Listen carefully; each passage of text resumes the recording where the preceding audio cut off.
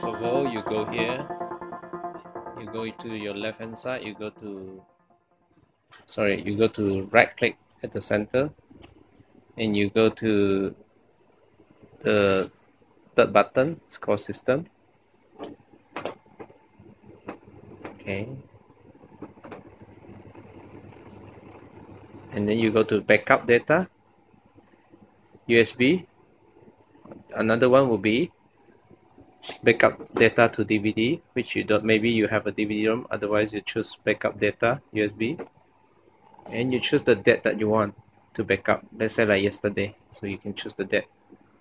Maybe like yesterday 13 okay and then the time okay.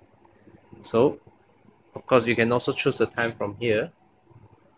Yesterday October 13 1:22 p.m.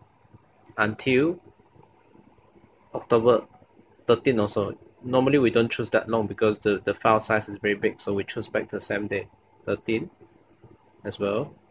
Okay after that the time duration is like start time 1322 end time maybe we choose back to 13 also okay 13 and then this one we choose to maybe like 50 52 minutes.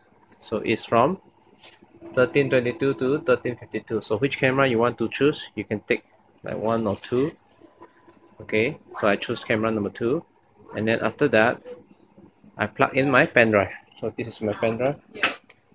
So I plug it in here. So there's two sign there if you look carefully. The one on the top okay? The one on the top. The one this one is another thing. Okay see this one is clearly now? You plug in here the USB sign. This is the USB sign. Okay now after plug in then you just press backup button. Please plug in the USB so I already plug in so it's straight away it's loading the player backup and channel 2 backup loading.